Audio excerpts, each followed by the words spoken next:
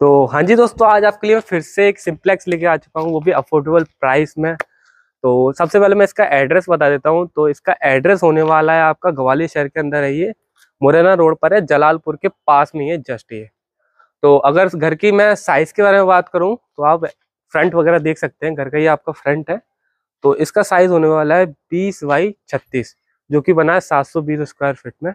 तो बिना देरी के अपन अंदर चलते हैं। तो आ जाइए। आप इधर से आ सकते हैं। उधर टकरा गया था ये आपका पार्किंग स्पेस है। पार्किंग स्पेस देख सकते हैं, काफ़ी डिसेंट सा पार्किंग स्पेस है। टू व्हीलर बाइक वगैरह आप रख सकते हैं। इधर आपका लिविंग रूम है। लिविंग रूम का साइज़ देख सकते हैं, लगभग दस बाई दस का ये कमरा होने वाला है। लगभग दस हाँ दस बाई दस का ये कमरा है। ठीक है? यहाँ से अपन आएँगे। ये आपका ओपन किचन हो जाएगा। ये आपके स्विचेस वगैरह दिए हुए हैं, ये आपका ओपन किचन हो जाएगा। किचन का वेंटिलेशन के लिए यहाँ विंडो दिया है। विंडो वगैरह भी आप देख सकते हैं। स्लाइडेड विंडो है तो आप बंद कर सकते हैं। एक यहाँ से भी है। लॉक है क्या? ये बाहर से लॉक है। एक यहाँ से भी आ सकते हैं आप। ठीक है? ये आपका फ़र्स्ट बेडरूम है। बेडरूम का साइज़ देख सकते हैं। लगभग दस बाई पंद्रह का कमरा है ये आपका।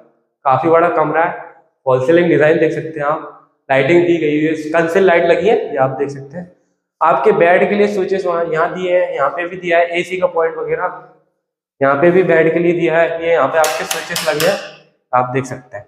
ठीक है? ये अपना सेकंड बेडरूम है। इसके साथ आपको एक अटैच वॉशरूम मिल जाएगा तो आप देख सकते हैं। इसका लगभग दस बाई ग्यारह कमरा, दस बाई ग्यारह का साइज़ है इसका लगभग। तो आप देख सकते हैं, इसमें भी फॉल सीलिंग डिज़ाइन दिया है। कंसिल लाइट लगी है अच्छी सी, अच्छी क्वालिटी की। इधर भी एक विंडो दिया है वेंटिलेशन के लिए मतलब रूम का वेंटिलेशन इधर मिलता रहेगा। और इधर भी स्लाइडेड विंडो है ये आपको मैं करके दिखाता हूँ। ये ऐसे विंडो है आप देख सकते हैं। ये आपके स्विचेस है। ये आपका एक अटैच वॉशरूम मिलेगा इसी के साथ। ए, रूम के साथ ही मिलेगा तो आप देख सकते हैं। काफ़ी डिसेंट सा साइज़ है रूम का वो वॉशरूम का तो आप देख सकते हैं मैंने दोनों आज सीधे कर लिए फिर भी। टच नहीं हो रहा यहाँ पे आपका, क्या कहते हैं वेस्टर्न शीट लगी है आप देख सकते हैं। यहाँ आपका मतलब क्या बोलेंगे इसको?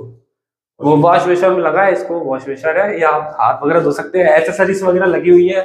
शावर लगा हुआ है। यहाँ पे आपको वॉशरूम और रूम का वेंटिलेशन आपको दोनों यहाँ से मिलता रहेगा। ये आपका ओपन स्काई वेंटिलेशन है तो आप देख सकते हैं। ये आपका ओपन स्काई वेंटिलेशन हो गया। यहाँ से आपको प्रॉपर मिलता। है इस रूम का ये रूम दिखाया था पहले, इसमें भी इधर से रूम से इस वाले रूम से इधर का भी वेंटिलेशन मिलता रहेगा। तो अपन चलते हैं सबसे पहले ऊपर छत एक और चीज़ दिखा देता हूँ, यहाँ पे दो वॉशरूम मिलेंगे इस घर के अंदर तो आप यहाँ देख सकते हैं।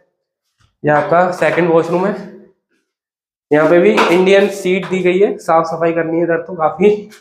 और यहाँ पे भी एक वॉश बेसन लगा हुआ है, ठीक है? और यहाँ पे भी ओपन स्काई वेंटिलेशन है तो आप देख सकते हैं, यहाँ पे भी इस रूम का इधर से मिलता रहेगा।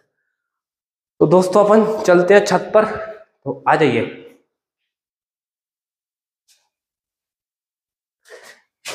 लगभग देखो, आप कोई चीज़ दिखा दो, ये आपके जीने हैं, जीने का लगभग साइज़ रहेगा तीन फिट का तो आप आ जाइए, देख सकते हैं। प्रॉपर रेलिंग लगा के दी जा रही है स्टील की रेलिंग है तो आप देख सकते हैं। चलो।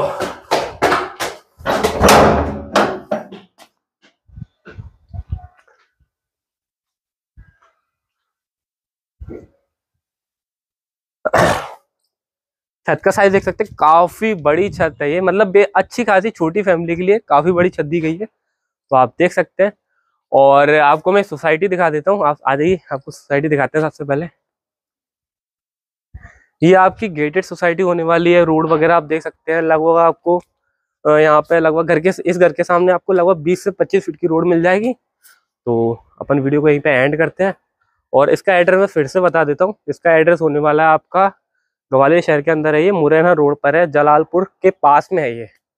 और इसकी प्राइस भी बता देता हूँ तो इसकी प्राइस होने वाली मात्र चौबीस लाख रुपए चौबीस लाख रुपये में आपको ये मिल जाएगा। तो मिलते हैं अगली वीडियो में। जय हिंद।